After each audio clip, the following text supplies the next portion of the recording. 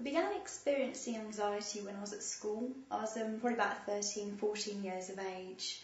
Um, I was always a perfectionist, um, wanted to be the best, I wanted to do really well, get top results in all my subjects. And um, one year I hadn't done so well in my exams, and the following year they introduced the SATs examinations. Um, I became very, very anxious about the exams, um, made myself ill, experienced depression. Um, I just thought that I couldn't get through these exams. They just became the world to me. Um, I used to run home from school crying to my mum. Um, I hardly ate. Really, really affected me. Um, coming up to the exams, I actually experienced my first instance of depersonalisation. Obviously, back then I didn't know what it was. It was very, very scary for me. Um, I couldn't concentrate. I felt very detached from reality. Um, people would say things to me, I'd almost have to feign emotions because I wouldn't feel anything. Um, and it affected me through my school years because I was having time off. Um, you know, I didn't feel able to concentrate on my subjects at school, and it just really, really frightened me. It felt like I was in a void, um, into a black hole. I always sort of use the analogy of sipping into a hole and I was trying frantically to get back out of the hole into the light, into reality and normality. But it was just so, so difficult. And throughout the years, sometimes I'd even cut myself to try and feel some kind of emotions. I'd throw things around the room. I'd just lie in bed crying. It was just such a difficult thing for me to deal with. I think probably the, the root of my anxiety was the fact that I always pushed myself so hard to do well at school. And it was always the thought of failure. Um, my dad also um, experienced anxiety and he did in fact have a nervous breakdown when he was 18. He was working under very pressurised conditions. Um, he was doing some technical graphical drawings and because he was doing so well his boss had said to him, right, you can take over a managerial post. And as he explained, it just got you know too much for him and he had a nervous breakdown. So I suppose there is that in the family. My grandfather was also having a nervous breakdown um, because of my nan's um, physical health. Um, so to me, I think it was the pressure that I was under at school and really the thought of failure. I mean, from the age of, of about 14, when I did experience the symptoms, I was visiting the doctor and I had a very kind of pat on the back, oh, you know, you're a lovely girl, you shouldn't be worried about things, you know, very patronising really, we weren't really understanding exactly what I was going through. Um, the doctor did finally refer me to a specialist. Um, they did a physical examination and came up with the, the idea that it was actually a, a mental illness. Um, and over the years, I've seen countless psychiatrists, psychologists, um, taking antidepressants, um, for example, Prozac, um, Stelazine as well, which I found out recently that it was actually an antipsychotic drug and could have lasting um, long-term side effects, which was quite scary um, and also lithium, which is used in batteries. And I had to regularly have blood tests to see that the levels hadn't got so high that it could be toxic in my bloodstream. Um, so those are the, the, sort of conventional medical um, experiences that I had and then visiting psychiatry psychologists.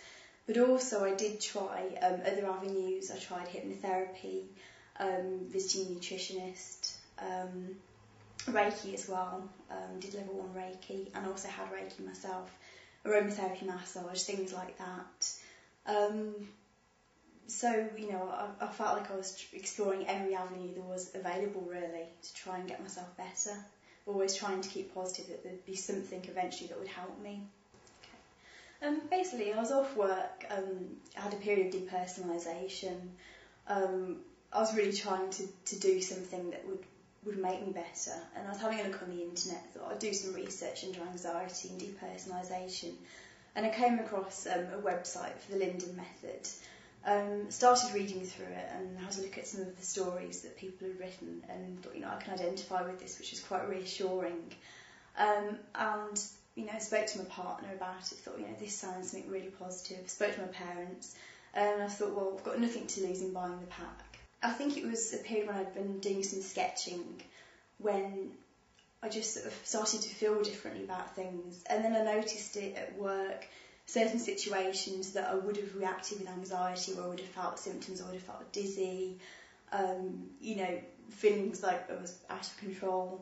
And I just felt like I was handling things a lot better. I felt more positive, had more energy, and just generally a nicer person to be around. I think my partner probably had experienced a lot of my snappy moods when I was anxious um, about silly things really that weren't important. Um, that just generally, I just felt so much better about things. And I think people at work have probably noticed as well a difference in me. Partner certainly has, um, other friends and family. So it's really made a big difference. Now I feel like I'm not looking towards the past, that I can actually look forward to the future. Um, I'm living a life anxiety free, which is fantastic.